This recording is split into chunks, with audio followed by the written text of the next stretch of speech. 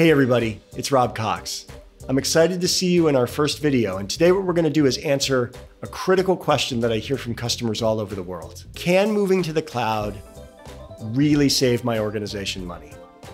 They've seen things online that have said, well, maybe the cloud is not the money saving opportunity that we thought it was. Maybe we're better off optimizing on premises so that we can save money uh, working on prem. The reality of it is, most organizations save money in the cloud. Some of them have such high overhead in their data center and things like their HVAC system or their power and light that they can save money in moving to the cloud without changing anything. But that's not the reality for most organizations. For most organizations, there's three things that we like to work with them and do. First, organizations, when they build computing on premises, build to the peak.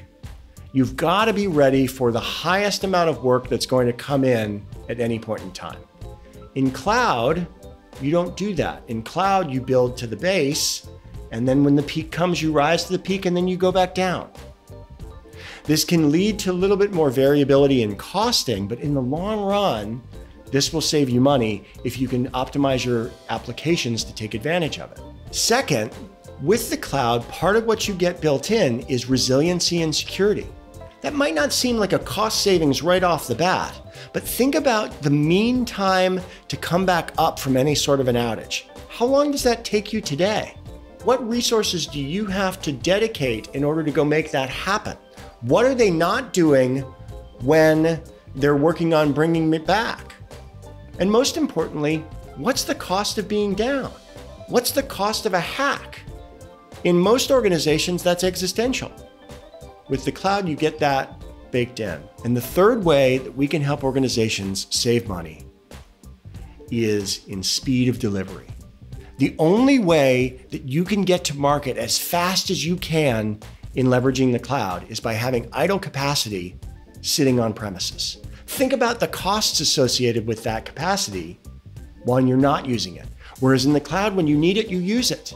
This is a huge cost savings to companies and it allows them to be more efficient and effective in how they're delivering. So in summary, can organizations save money in moving to the cloud? The answer is yes, but the pathway for each organization can be different.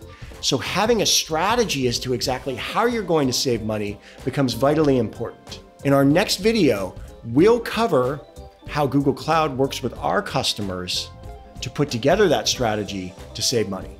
I hope to see you again soon.